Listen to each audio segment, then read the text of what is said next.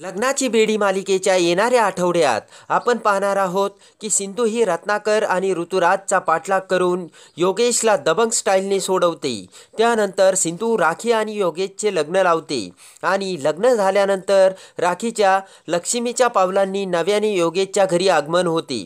पण इकडे मात्र सिंधूला रत्नपारख्यांचे घर हे सोडावे लागलेले असते. कारण राखी आणि योगेशचे लग्न लावून दिल्यामुळे काकूला राग येऊन सिंधूला हात घरात घेण्यास काकूने मनाई केलेली असते. तेव्हा राखीला हे समजल्यावर राखीला खूप वाईट वाटते. तर सिंधू ही राखीला भेटण्यासाठी तिच्या घरी आलेली असते.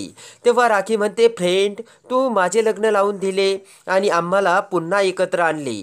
तर एवढे चांगले काम तू केलेस आणि तू सत्याच्या बाजूनी लढलीस पण तुझा संसार मात्र त्यामुळे विस्कटला. आणि राघव व तुझी ताटातूट झाली. तेव्हा सिंधू म्हणते राखीताई जे खरं आहे तेच मी केलं. आणि नेहमीही सत्याची साथ द्यायची असते. तेव्हा हे मला माझ्या आप्पांनी शिकवले. तेव्हा जे मी केलं ते अगदी बरोबर केलं. आणि त्यासाठी मला कोणतीही अग्निपरीक्षा द्यावी लागली तरी मी त्यासाठी तयार आहे. तेव्हा सिंधूचे ते बोलणे ऐकून योगेश म्हणतो खरंच सिंधू तू ग्रेट आहेस. आणि सिंधूचे पुन्हा एकदा आभार मानतो.